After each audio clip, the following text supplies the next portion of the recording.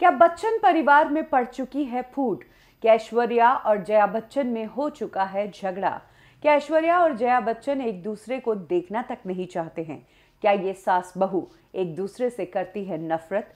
व latest videos तो ऐसा ही कुछ कहती है। जया बच्चन और ऐश्वर्या राय, ऐसे तो कई बार पब्लिक अपेयरेंस में एक साथ नज़र आए हैं और मीडिया के सामने इन्होंने अपना प्यार डिस्प्ले किया है। लेकिन एक लंबा वक्त हो गया है जब जया बच्चन और ऐश्वर्या राय एक दूसरे के साथ फ्रेंडली नोट पर नज़र आए हो मीडिया में। इनफैक्ट रिसेंटली जब बच्चन परिवार को एक ओकेजन पर इनवाइट किया गया तो बच्चन फैमिली जो एक ही घर में रहती है, वो वहाँ से उस ओकेजन के लिए निकली तो सही, लेकिन सब अलग अलग निकले। जया बच्चन अलग अपनी गाड़ी से और ऐश्वर्या राय और अभिषेक अलग अपनी गाड़ी से।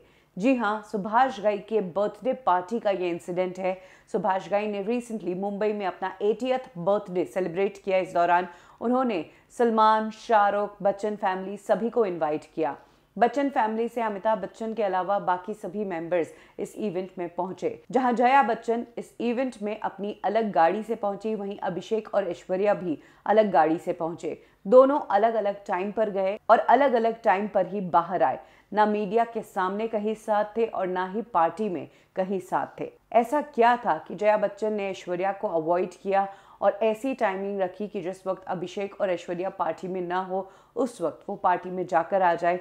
ये बात सभी को हैरान कर रही है, क्योंकि मीडिया भी वहाँ पर मौजूद थी और कौन कौन पार्टी में आया ये पापराजीज ने दिखाया है तो ऐसे में जया बच्चन का अलग जाना और ऐश्वर्या का अलग जाना लोगों को बहुत कुछ कह रहा है। लोगों का कहना है कि जया बच्चन और ऐश्वर्या के बीच सब कुछ ठीक नहीं है। तभी तो एक ही घर के लोगों को एक ही जगह पार्टी में जाना है, लेकिन उसके बावजूद वो अलग अलग गाड़ियों में जाते हैं और अलग अलग टाइमिंग पर भी। जहाँ ऐश्वर्या राय हमेशा मीडिया से कॉर्डियल रही है, वहीं जया बच्चन का एंग्री रूप कई बार मीडिया ने देखा है।